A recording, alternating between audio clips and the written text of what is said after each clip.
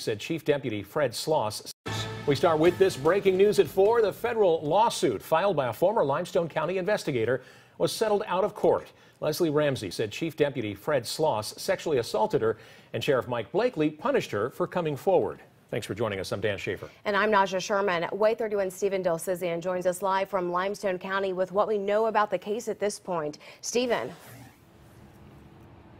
Yeah, guys, in the last 30 minutes, I reached out to the Limestone County Sheriff's Office about the settlement. They said they are not commenting on it at this time. The details of the settlement are also still unclear. Now, this whole entire situation surrounds former investigator Leslie Ramsey's lawsuit in 2019, accusing Chief Deputy Fred Sloss of sexual assault and Sheriff Mike Blakely of punishing her after coming forward about it. Now, Ramsey says the sexual assault happened back in 2017. She was fired from the sheriff's office this September, and her attorney says no reason was given. Ramsey's attorney tells WAAY 31 today, quote, both sides resolved all claims. The terms, though, are confidential. Now, I've also reached out to the county commissioners, county leaders about this case to try and find out some more information about this settlement. Right now, I've not heard back. Reporting live in Limestone County, Stephen Dilcizian, WAAY 31 News.